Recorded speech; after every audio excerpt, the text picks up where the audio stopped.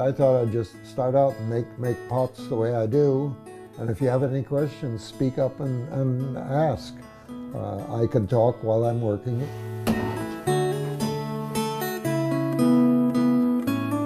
These pots, small bowls, which I'm going to start with, are the thing which I usually start my making. Small general uh, utility bowls. Have you always used a kick wheel, Warren? Yes, yes. Uh, we got used to this wheel when working here at the pottery, and uh, I think I think it's the greatest wheel ever. Uh, you know, because it's the one I'm used to. Yes, we uh, we took two Leach wheels home with us when we when we left the pottery.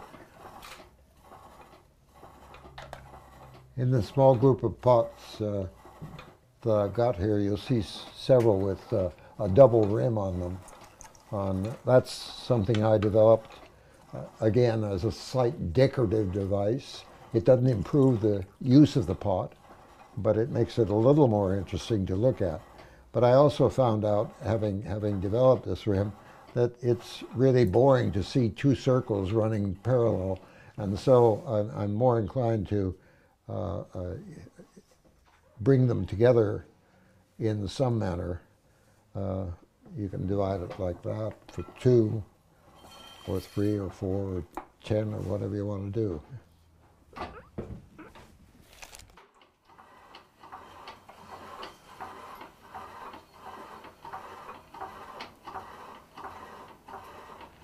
Another thing that I picked up after leaving Leach Pottery, we, at the time we were here, we seldom uh, distorted a pot from the true round form. And uh, I don't know why that is. Uh, I find that you can take a very simple thrown form and alter it in many different ways and make it, it doesn't make it function any better, but it's a little more interesting to look at. Uh, because unless you have some sort of contrast within a pot form where you, where you, you have a change of rhythm in the, in the way the walls are, are uh, shaped or in which you have distorted it. Bernard always used to say, a good pot reveals itself only very slowly.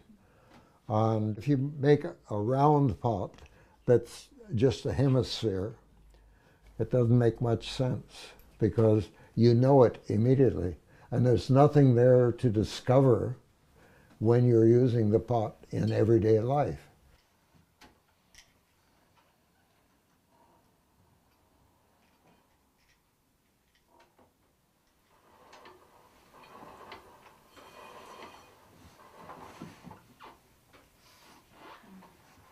We got a little more time. How did you get that lit? Oh. Is it too late? All right. No, it's not too late.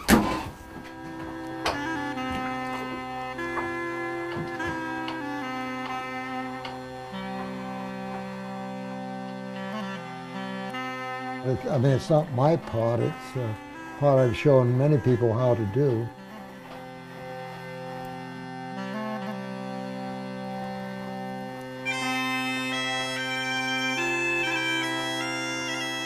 Thing you have to worry about is uh, keeping the, uh, the vertical side from sticking to the, to the underside.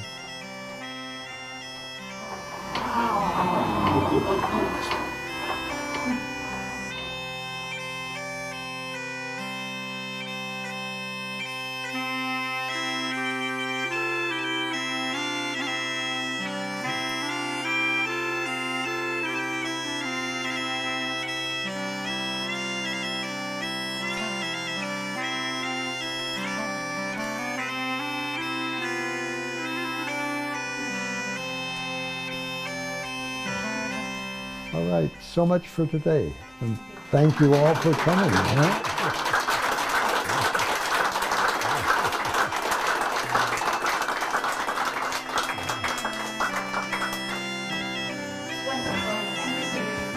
welcome. thank you. Oh, come on.